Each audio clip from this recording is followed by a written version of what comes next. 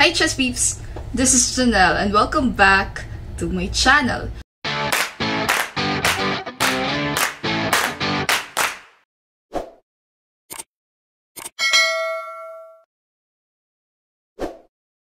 Shoutout muna tayo sa ating mga subscribers. Una na dyan si Nestor Nugpo, Jamaica Mendoza, Charlie Bagsik, Jerry Panes, Don Alfred Duave, Emerson Meneses, Joseph Datuon. Hello po sa inyong lahat. Maraming maraming salamat sa patuloy na pagsuporta sa channel na ito.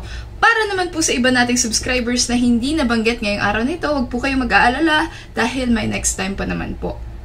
Alright! So para sa araw na to, bago ako magsimula, ay gusto ko munang batiin ng happy happy birthday ang ating Asia's first Grandmaster, Grandmaster Eugene Torre. Hello po, GM Torre, I hope nanonood ka ngayon. Alright, so para sa araw na to, ang pag-aaralan natin ay ang kanyang laro laban kay 12th World Chess Champion, Anatoly Karpov. So bakit ko to pinili? Kasi isa ito sa pinaka-historic na pangyayari sa Philippine chess, no? Alright, ito si Karpov, no? 1975, nag-world champion siya, no? Nung hindi siya sinipot ni Bobby Fischer sa kanilang match. So, naglaban sila, 1976, sa Manila. Nag-sponsor dito ay ang Marlboro, no? Yung Yossi. Yung uh, 1976 Marlboro Classics na yan, nung naglaro si Karpov, 10 years walang nakakatalo sa kanya. Almost every tournament, pinapanalo niya. So, ganyan kalupit si Karpov. Nagtagpo sila ni GM Torre dito at hulaan nyo ang nangyari. Right? So, uh, papakita ko ang kanilang laro ngayon. Um, puti dito si Karpov. Itim din si GM Torre. By the way, gusto ko lang din banggitin yung mga pictures ni GM Torre nung kanyang kabataan, no? Para siyang Beatles. Yung uh, mga member nung uh, bandang Beatles. Ang haba ng buhok, grabe ka gwapo, tisoy na tisoy. No? So, uh, ganyan pala si GM Torre dati. I hope yung mga bago natin mga players, no, especially yung mga nasa early 20s, mga teenagers pa lang, kilala nyo pa rin dapat ito si GM Torre. Although, sa ngayon, sa generation na to, ang kinikilala nila si Wesley So. Pero bago magkaroon ng Wesley So, bago magkaroon ng mga ibang GMs, mayroon muna tayong GM Torre. And so, pinapakita ko itong laro niya para mas ma-appreciate natin kung gaano kalakas si GM Torre, especially noong mga 1970s. 70s. Alright, so simulan na kaagad natin ang laro. Puti si Karpov dito at ang itinira niya ay E4, C5 by GM Torre. No? So nung kabataan pala ni GM Torre ay isa siyang Sicilian player. Knight to F3, Knight C6, at D4. So ito ang tinatawag nating open Sicilian. Kinain, C takes D4, Knight takes D4, Knight F6, Knight C3 at D6. So bookline pa ito tumira ng bishop to g5 ang white. So, ang bishop to g5, ang tinatawag nating Sicilian Richter-Rauser. So, isa to sa mga aggressive lines ng puti. Titira yan ng mga queen to d2 at castle queenside. Alright? So, tumira ng e6 ang item. True enough, queen dito ang itinira ng puti. a6, castle, at bishop to d7. Alright, so f4, bumanat ka agad sa gitna. Gusto may mga e5 dyan ang white. At dito, makikita nyo ang purpose ng tira ng item. Bakit siya tumira ng A6? Dahil bobomba din siya sa queen side. B5. Queen E1 by white. Umalis ang queen to give way sa rook para magkaroon ng mga potential uh, kulit dito sa d-file na yan. So, queen na n, knight takes d4, rook takes d4, at queen to b6. So, atakado ang rook, umatras, pumunta sa rook to d2, No? Hindi na siya bumalik sa rook d1 kasi gusto niya mag-conserve ng time. Pag tira ng rook d2, ina-anticipate niya kasi napapaalisin itong yuka bingbang na to. Let's say for example, pag mga b4, pupunta sa knight to d1. So, naging space yon para sa kanyang yuka bingbang. No? Balik tayo, rook to d2.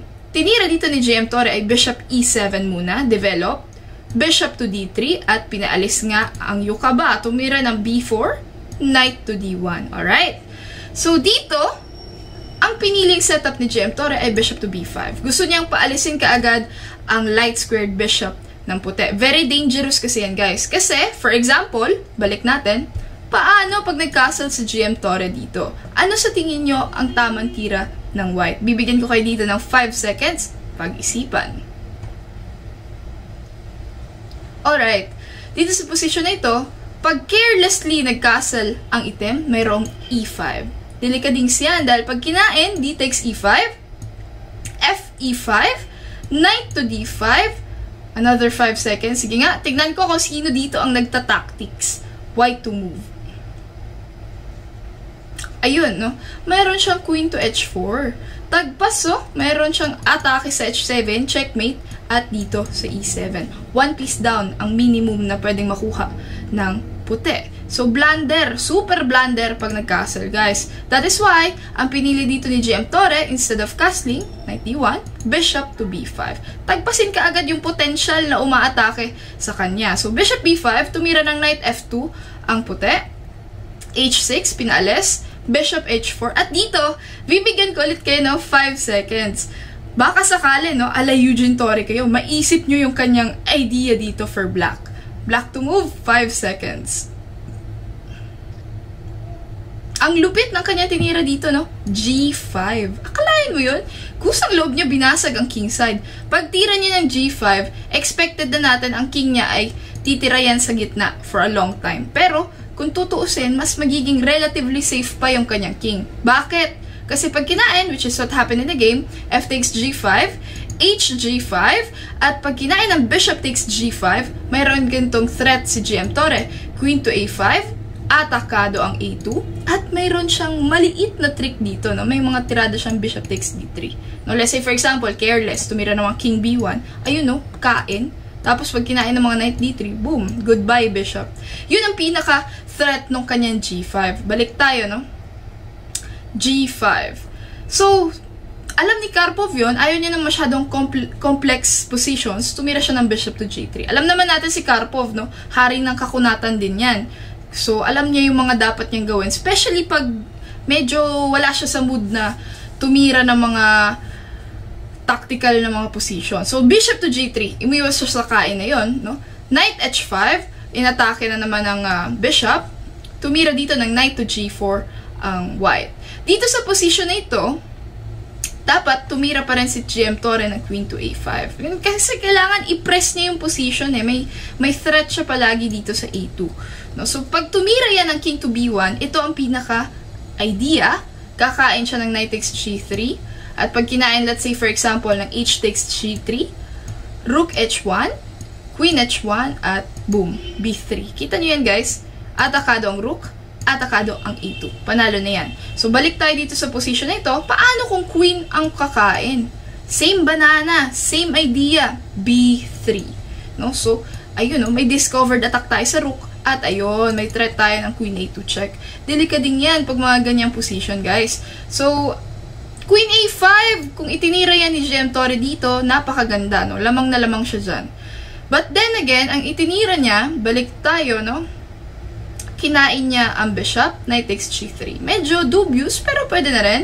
h takes g3, rook takes h1, queen h1, at rook c8. Okay, bakit nag-rook c8, guys? Kasi dito sa position na ito, ina-anticipate ni GM Torre na pag nag-check, queen h8 check, aalis lamang ang kanyang king. No? May mga king to d7 lamang siya dyan para at least depensado niya yung kanyang rook. No? So, ang ganda ng mga idea dito ni GM Torre. Um, rook c8, No? Depende sa threat ng queen h8 check. And at the same time, ayun, may konting kiliti sa c-file. So, uh, rook c8, umalis ang, ang king sa file na yan, king to b1. Kinain niya, bishop takes d3. At dito, ang pinili ni Karpov ay c takes d3. Although, pwede niya rin kainin ng rook takes d3, pero may kuliti na dito sa c-file. Queen to c5. Ayan, no? May threat tayo sa c2. And say for example, didepensahan niya ng mga queen to d1, may a5 tayo. a5, a4. So, black lang ang talagang umaatake dito. Pansinin niyo, no? Ang king nasa gitna. Generally, sa principle sa chess, pag ang king naiiwan sa gitna, delikado yan, no? Pero dito, actually, yung king niya nasa gitna, mas safe pa kung tutusin kaysa sa king ng white na nakakastle. Bakit? Anong factor na pinagkaiba nun? Unang-una, hindi maka-breakthrough sa gitna ang uh, itim. Solid kasi yung bishop, oh. Tignan nyo. Alalay lahat yung pawn. At the same time, walang ka pawn storm, pawn storm ang puti. Unlike sa itim, ayan oh, naglalakad yung ating mga pawns. So yan ang isang middle game principle dyan. Bakit parang mas naging safe pa yung king ni GM Torre kahit nasa gitna. Anyway, balik tayo sa position after king to b1. Kinain, bishop takes d3. C takes d3 ngayon. At queen to d4. Sa laksak, sinentralize ang king I'm sorry, sinentralize ang queen sa gitna. So, tumira ng queen to d1, ayan na nga po ang sinasabi ko, a5, dire-diretso yan. Nag-knight h2, no? Nagkaroon siya ng maneuvering, gusto niya tumira ng mga knight f3 para gumitna ang kanyang pyesa. At dito, dito, ang ganda na naman ng tinira ni GM Torre. Bibigyan ko kayo dito ng another 5 seconds. Positional move ito, guys. Okay, so ano kaya ang itinira dito ni GM Torre? Hulaan niyo po. G4. What the? Nagpakain na naman siya ng isang pawn. OMG. No? So, kinain yan. Tinikman niya ni Karpov. Knight takes G4. Siyempre, hindi pa yan pwede kainin ng queen kasi palaging may check dito no, sa ilalim. Tagpas ang knight. So, hindi yan gagawin. Knight ang pinakain. So, anong purpose? Bakit niya ibinigay yung pawn na yan? Para po dito. Bishop to G5. Ayun, no? Biglang ang lakas ng kanyang diagonal. So, active na active ang kanyang uh, bishop. Tumira ng rook to c2. Walang ibang choice. Force din yan dahil tatagos tayo sa c1 kapag pinabayaan. So, uh, kinain dito ni uh, Torre. Rook takes c2. King takes c2. a4 ngayon. Yan. Banat. Dire-diretso. Kailangan umatake na dyan. No? b3, a3. Depende sa sitwasyon. Tumira ng a3 ang puti. b3 check king to b1. Okay, one pawn down ang itim dito. Pero may kita nyo, ang queen niya centralized, ang bishop niya very active, yung kanya mga little pawns dito ay nasa pwersa na ng puti. Kumbaga, ano na lang eh, tinik na naman yan sa lalamunan ng puti. Ang hirap gumalaw. Palaging may mga back rank check dyan, no? Back rank checkmate, delikading. Hindi pwede umalis yung queen. So, uh, after king b1, tumira dito si Torre ng d5 bomba, tuloy-tuloy ang kanyang activity. Tinira dito ay e takes d5, kinain. At dito, another line ay pwedeng mag-e5 na lang sana ang item, no? At unti-unti niyang i-improve yan. Kasi dito sa position na ito, kinain niya ng queen takes d5, nakagalaw yung knight, napunta sa knight f2. Kasi kung, imagine niyo guys, kung tumira siya ng e5, walang knight f2. Dahil ang queen, ayan o, kontrolado niya yung diagonal na yan. But then again, balik tayo sa position, queen takes d5, Knight F2. Kusang loob ng binibigay ang pawn para lang makapag-maneuver ang kabayo. Queen takes G2. Knight to uh, E4. Bishop to E3. Yan! Activity lang guys. Activity. Iikot na naman yan sa bishop to D4. Knight C3. So, atakado ang pawn. Depensa muna. Queen to C6. D4. Queen C4. Yan. Sa laksak. Pasok sa loob tumira ng D5. Okay, ito guys, syempre, hindi natin to kakainin. Kasi kung kakainin natin yan, lalabas yung kanya mga queen tsaka knight. Ayaw natin yung ganyan, no? Push lamang po ng pawn. E5. Queen to H1. Queen D3 check. King to A1. Bishop to D4. Yan ang gusto ko kay GM Torre. Kita nyo naman, grabe ka-active na ang bishop. No? May mga threat. Obviously, bishop C3 check ang uh, obvious na threat dyan. Tumira ng check King to D7, Queen A8. Okay, dito makikita nyo si Karpov, gusto niya active na lang ang kanyang mga pyesa. No? O hoping siya na magkakaroon ng perpetual check or non-stop checking ng queen. No? Anyway, ang tinira dito ni GM Torre, Queen A4 check, Knight to B1. Okay, dito umabot na sila ng 40 moves, no? Pero, sabi ni GM Torre on his interview na napanood ko rin, ang sinabi niya, akala niya hindi pa siya umaabot ng 40 moves. Kasi nung araw, meron tayong tinatawag na adjournment, no? Yung sinisil mo pa yung tira mo, sinusulat mo sa parang envelope, tapos isisil, ibibigay mo sa arbiter. Ngayon, akala ni GM Torre, hindi pa siya umaabot doon. Malapit na siyang ma-flag down at tumira siya ng ibang move dito. Gusto ko nga gawing puzzle ito sa inyo. Ano sa tingin niyo ang best move dito for uh, black? 5 seconds. Ayun, mayroong bishop takes b2 check. Ito ang winning line dahil after king b2, check, mahalaga sa f2 mo yun ilagay dahil pag angat ng king c3, queen d4, check, mate. Okay, grabe, forceful, walang kasolusolusyon, no? ubus talaga ang puti. Balik tayo dito. After knight to b1, ang tinira dito ni GM Torre, no? dahil na nga kulang siya sa oras, tumira siya ng queen c4, def defending this pawn on a4. Chumek si Karpov, King D6, check, non-stop checking nga eh. Sabi ko sa inyo, ang pinapangarap dito ng puti ay makapag-perpetual check. No? King takes D5, nakain yung pawn, check. King E6, check ulit. King F5, check. King G6, ayun. So, check ulit. King F6, okay? So, dito sa position na ito, hindi na siya nag-check ulit, bagkus ang tinira niya ay, hindi naman siguro papakain niya, no? Hindi na siya nag-check ulit. Instead, ang tinira niya ay knight to c3. So, tumira ng knight c3. At dito, pagtira ni GM Torre ng queen f1 check, ay uh, na-adjourn ang laro. At uh, base sa kanyang interview na aking napanood din, nag-resign si Karpov the next day. Tumawag na lang siya through a telephone at hindi na nila nilaro itong tournament na ito. I mean, itong position na ito. So, resign dito si Karpov. What a game by GM Torre, no? Inubos niya, world champion niya, no? Fresh na fresh. 1976, naglaban sila. 1975, naging world champion si Anatoly Karpov. At inubos niya. That is why, noong kapanahunan talaga ni GM Torre, 1970s, no? Until early 80s, isa siya sa mga bright hopes ng uh, Pilipinas talaga para maging isang world champion. Did you know, pumasok siya sa top 20 in the world. Grandmaster Torre, Pilipino yan. Bago pa si Wesley, mayroon tayong Torre. So sana ay wag niyong kakalimutan yan si GM Torre, ang kanyang uh, malulupit na laro, lalong-lalo na ito, no, laban niya sa isang world champion. So sana po ay natuto ka ngayon ngayon sa uh, game na ito.